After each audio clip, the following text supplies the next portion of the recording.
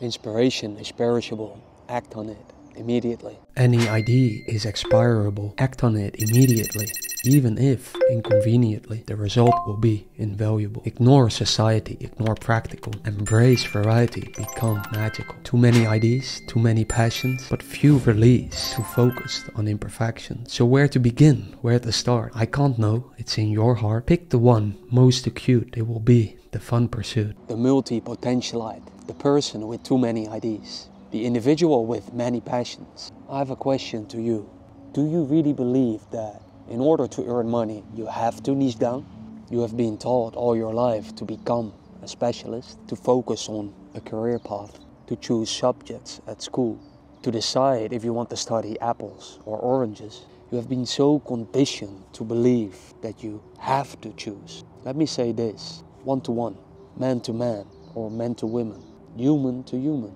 You don't have to choose. You can do everything and anything, what you want, where you want, and when it comes. I might be the only person in the world who will tell you this truth, but you are the only person who can give yourself the permission.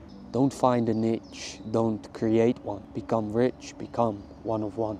By the way, if you're new here, I'm Jordan, did over $4 million in revenue, hired over 40 people, and I started making videos in 2012 and I'm showing you how I grow my personal brand, achieve financial freedom, and find peace in my life. And here's the truth finding a niche will limit you, creating a niche will limit you. You will imprison yourself in an invisible cage. You don't see it, but you do feel it.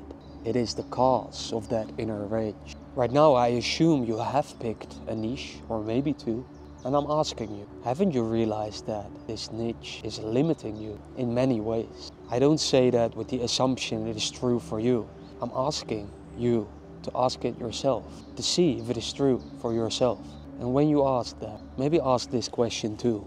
How much would you create if you didn't limit yourself by that inner voice that is unpromptingly telling you to focus on your niche instead and neglect the idea that comes up?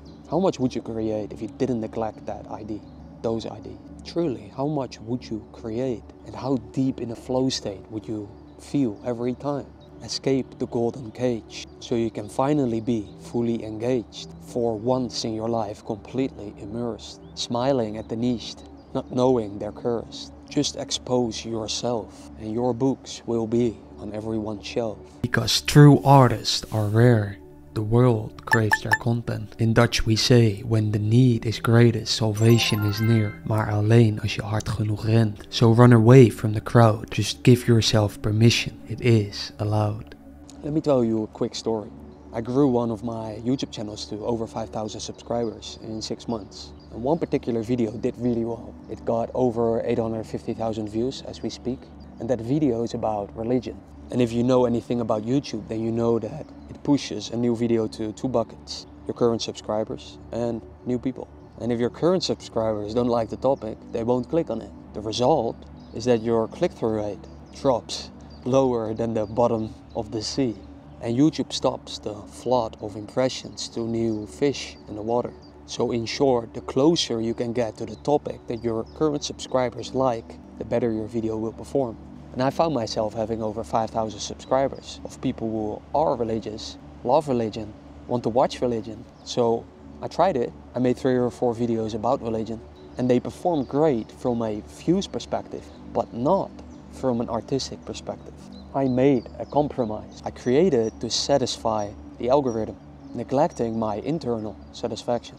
And I got rewarded with eyes masked as a prize.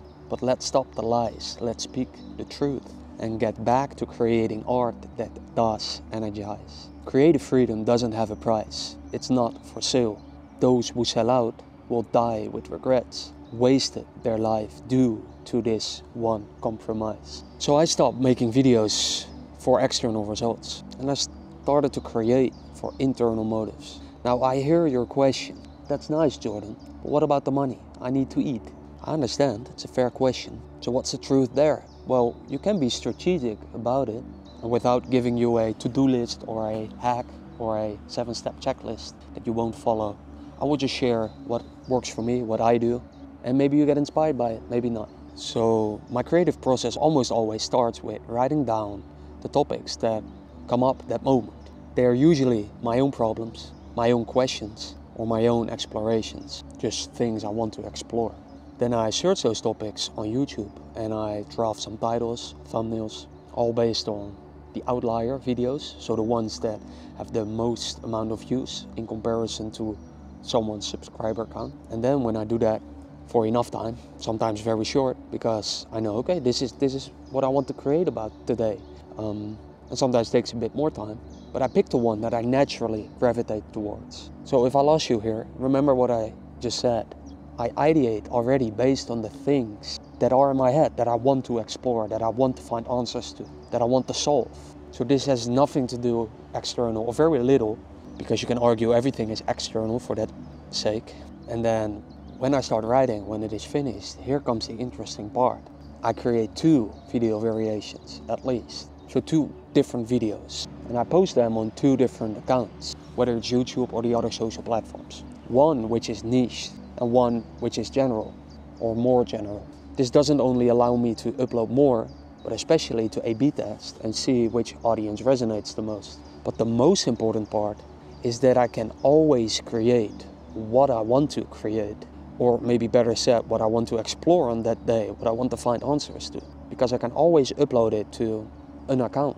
And yes, this could mean that you create seven YouTube channels, that you have six Instagram accounts, or five WordPress blogs. Who cares? Create them. Just because everyone only has one account doesn't mean you have to. I mean, if you would listen to everyone, wouldn't you be unhappy too? Besides that, a small side note as well. Have you noticed that every time when you create something that you really want to create, that it is both way faster and, and you lose yourself in a moment. But every time you create something you don't really want to create, it takes a lot more time. So from that perspective, you can create much more. Anyways, just because everyone tells you that if you chase two rabbits, you will not catch either one, doesn't mean you have to bow down to this and accept this as truth. In fact, let me ask you from a different perspective. What if this so-called rabbit that you're trying to catch is not money, success, status, but that the rabbit that you truly want is the rabbit who has the freedom to eat grass wherever he wants. So what I'm telling you is that if you change the wrong rabbit, you might catch it but forget to see that you got stuck in its hole and you may never find the true rabbit you want in your life. So create what you want when it comes and strategically post it to the right accounts. And naturally you will follow your innate curiosity and just create those things for its own sake. What you end up is, is the freedom to create anything. Always be able to post it and you will be surprised with the results. Why is it, you may ask? Why? Because when you create things for their own sake, they are often your best work and the world will reward you with their admiration and money. And you rewarded yourself with freedom from wasting time.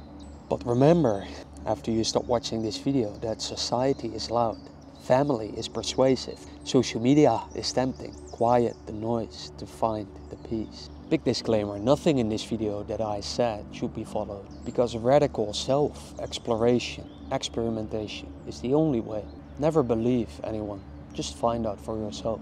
And to those who still think you have to choose one passion, one thing, one job, one career path, whatever one thing, I end with this. To that person, I end with this. It's not distraction, it's a reaction to the art in one's heart. Don't try to be smart, just depart into the sky and say goodbye to practical you. Create what it is that inspires you. One day it will come, the money, the revenue, but not a single moment wasted in your walk on this creative avenue.